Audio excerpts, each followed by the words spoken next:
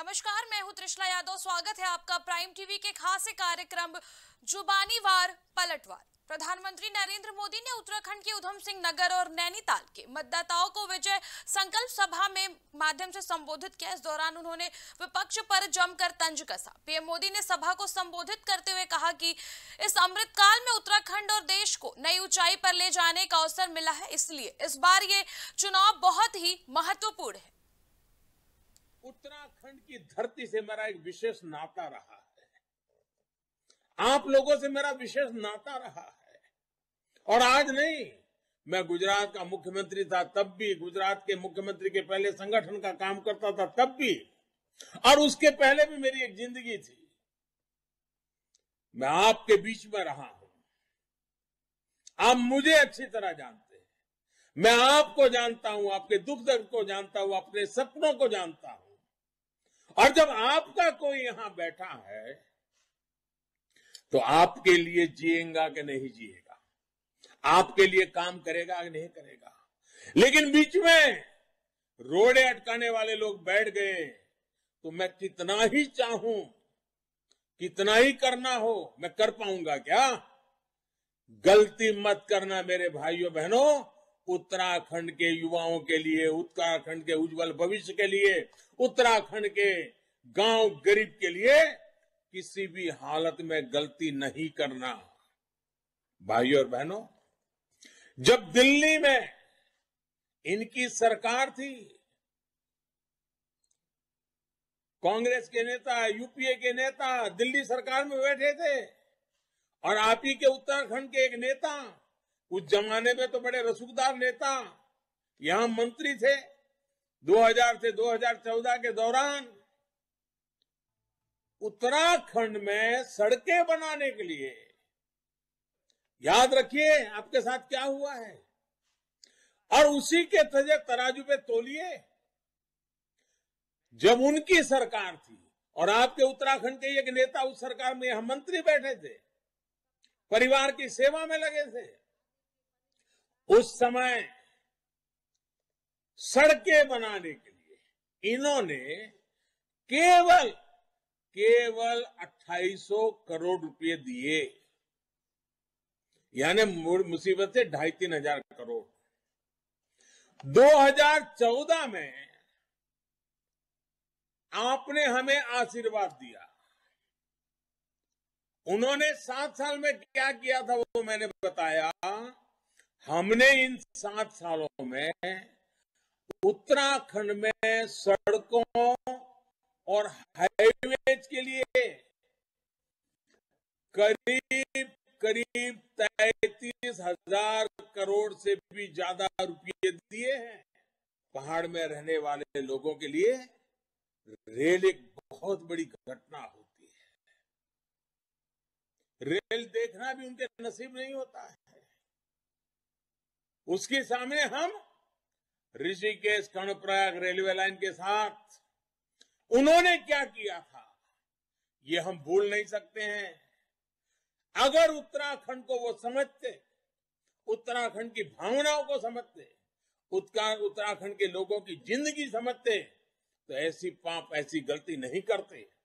मैं इसलिए अच्छा कर पा रहा हूँ क्यों मैं आपके बीच उत्तर प्रदेश में विधानसभा चुनाव के पहले चरण के मतदान से पहले भारतीय जनता पार्टी ने घोषणा पत्र जारी किया। इसमें बीजेपी ने यूपी की जनता से कई बड़े वादे किए हैं।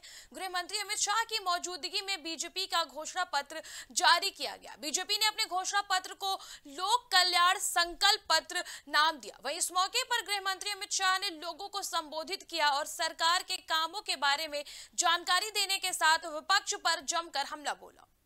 भारतीय जनता पार्टी की सरकार ने योगी आदित्यनाथ के नेतृत्व में यहाँ पर खेती के लिए, किसानों के लिए ढेर सारे काम करे। प्रधानमंत्री ने किसानों के लिए हर साल छह हज़ार रुपया हर किसान के बैंक अकाउंट में भेजने का काम किया है और इससे छोटे और मजले किसानों को ऋण मुक्त होने का एक फ़ायदा मिला है। योगी जी ने आने के बाद तुरंत ही दो ही महीने में लगभग छियासी लाख लघु एवं सीमांत किसानों का कर्जा, जो छत्तीस हज़ार करोड़ से ज़्यादा जिसकी लागत आई, उसको माफ़ करने का काम किया है और लगभग चार पॉइंट बहत्तर लाख करोड़ रुपए का ऋण किसानों को उपलब्ध कराने का काम किया है। लंबित सिंचाई की सत्रह की सत्रह परियोजनाएँ, इसमें से कुछ परियोजनाएँ तो मेरे जन्म के की पहले मेरी आयु आज सत्तावन साल है। मेरे जन्म के पहले की परियोजना जो लंबित थी, जिसको योगी आदित्यनाथ के नेतृत्व में सत्तर की सत्तर योजनाओं को हमने, सत्रह की सत्रह योजनाओं को हमने पूरा किया है, और मोदी जी के उत्तर प्रदेश के विकास के विजन के अनुरूप केंद्र बितवा की नई योजना की भी हमने शुरुआत की। आर्थिक विकास हो इंफ्रास्ट्रक्चर के काम हो, सुशासन देना हो, सलामती देना हो, गरीब कल्याण के काम हो या शिक्षा का क्षेत्र हो। हर क्षेत्र के अंदर हमने हमारे संकल्पों को पूरा किया है और हम आगे पर भी इसी इतिहास को बरकरार करने चाहेंगे।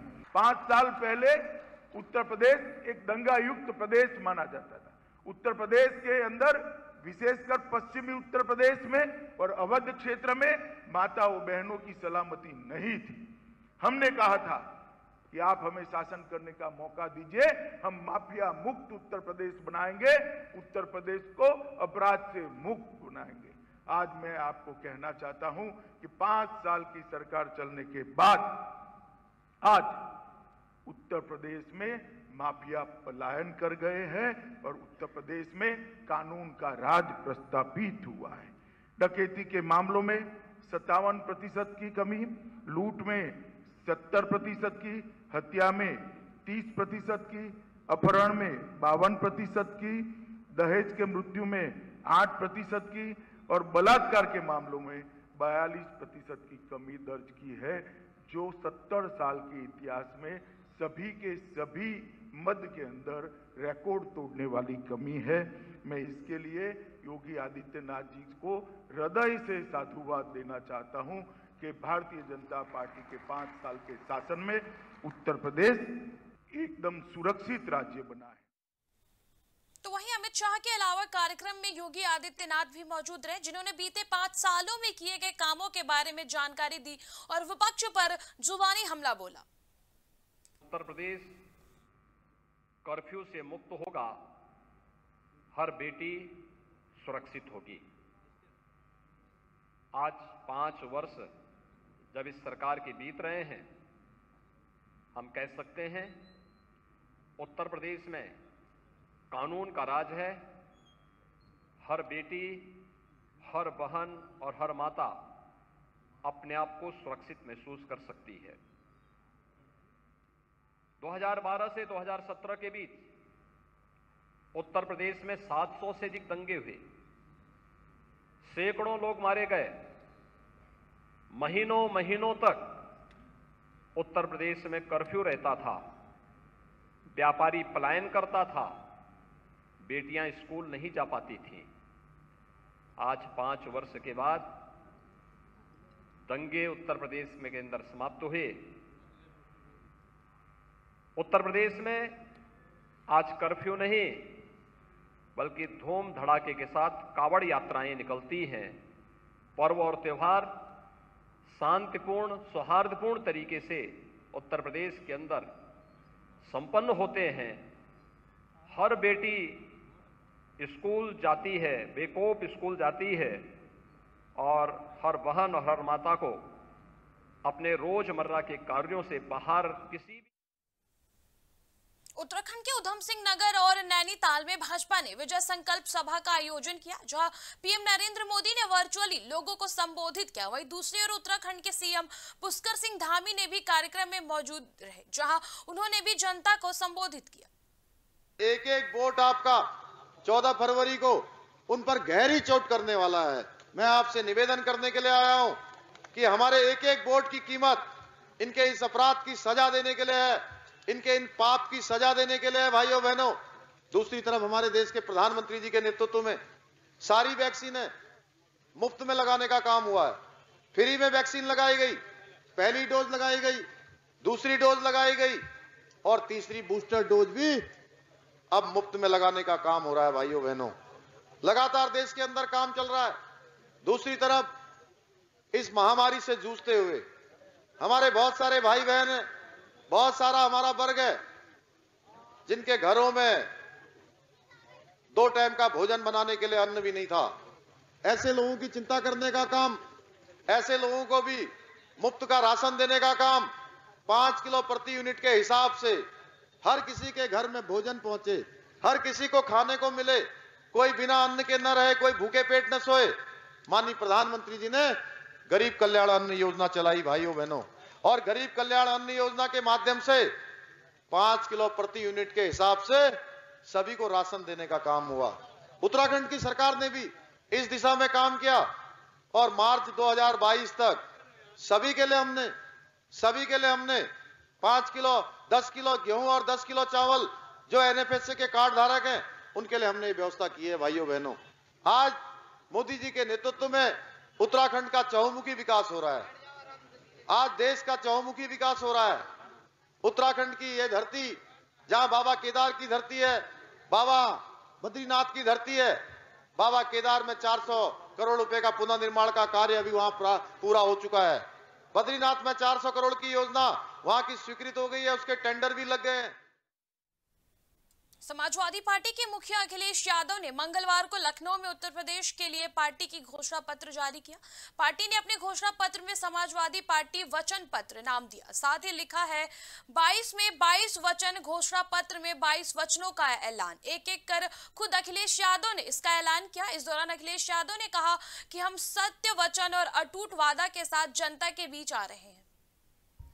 समाजवादी सरकार में स्टेडियम भी बने थे। और अगर रनिंग ट्रैक्स भी बनाने पड़ेंगे, या जिला स्तर पे, या ब्लॉक स्तर पे, तहसील स्तर पे, या कहीं ग्राम सभा में जहाँ ज़मीन उपलब्ध होगी, वहाँ रनिंग ट्रैक कच्चे भी अच्छे बनाए जा सकते हैं, जिसमें लागत कम लगेगी। तो जहाँ पर जगह उपलब्ध करा देंगे गाँव के लोग, वहाँ पर रनिंग ट्रैक सरकार की तरफ़ से बनाने का फैसला लिया जाएगा।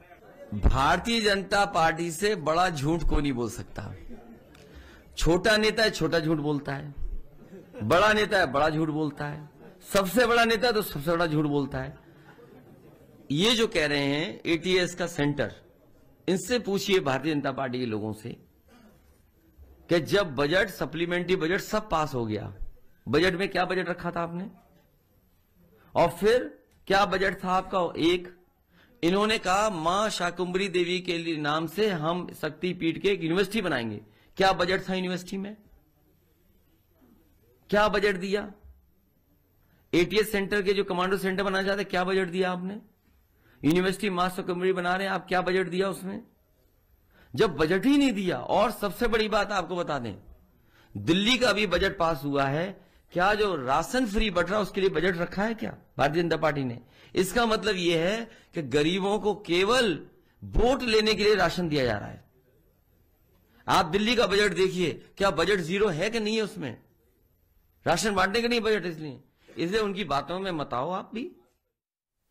उत्तर प्रदेश में विधानसभा चुनाव को लेकर सियासी गर्माहट पूरे शबाब पर है। वहीं समाजवादी पार्टी के प्रमुख अखिलेश यादव के समर्थन के लिए पश्चिम बंगाल की मुख्यमंत्री ममता बनर्जी भी यूपी में है। अखिलेश और ममता ने आज साझा प्रेस कॉन्फ्रेंस भी किया। इस दौरान ममता ने जमकर योगी सरकार पर निशाना साधा। ममता ने कहा, हाथरस की घटना, उन्नाव की घटना और कोविड के दौरान गंगा में फेंके गए शवों के लिए जिम्मेदार लोगों को इतिहास कभी माफ़ नहीं करेगा। योगी जी, जब ये हो रहा था, तब आप कहा थे योगी जी को उत्तर प्रदेश की जनता से माफ़ी मांगनी चाहिए। हर चुनाव में आप इकट्ठा होकर आप समाजवादी पार्टी को जिताइए और बीजेपी को हराइए। ये बात कहने के लिए मैं लखनऊ में आई हुई है। फिर तीन तारीख को हम वाराणसी में भी आएँगे। मैं यूपी में कॉन्टेस्ट नहीं कर रहा है। इसी के लिए नहीं कर रहा है। कि आज बड़ा लड़ाई है। देश को अगर बीजेपी से बचाना है तो हमारा जो भाई इधर में लड़ाई करता है अखिलेश यादव, उसको सपोर्ट करना, पूरा पूरी, पूरा तरह ये हमारा हक बनते हैं। मैंने सुना है, आज हमारा प्रोग्राम है, इसी के लिए बीजेपी का आज मैनिफेस्टो निकालना है। वो मैनिफेस्टो ना मैनिफेस्टो मेरे को पता नहीं है। किया क्यों नहीं इतना दिन? पहले तो करना है, उसका बाद बोलना है। आपको अभी बोलना पड़ता है? इतना साल आप दिल्ली में पहाड़ में है, आप यूपी में पहाड़ में है तो क्षमता में रह के आप गोली चलाते हो, बर्बादी करते हो। माँ बहन को क्या हुआ है? हमको बोलने का ज़रूरत नहीं है, इतिहास बताएँगे।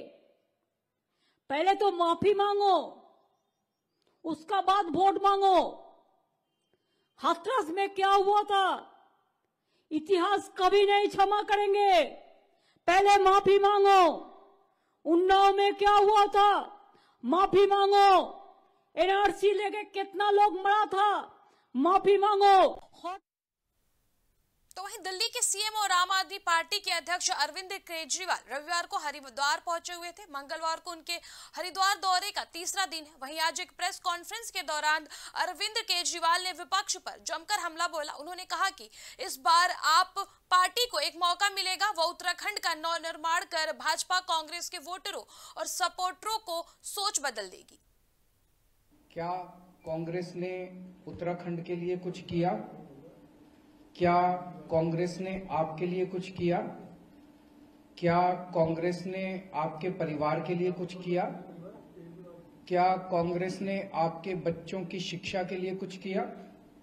क्या कांग्रेस ने आपके घर के बच्चों को नौकरी दी? क्या कांग्रेस ने आपके इलाके में स्वास्थ्य सुविधाएँ इंतज़ाम किया?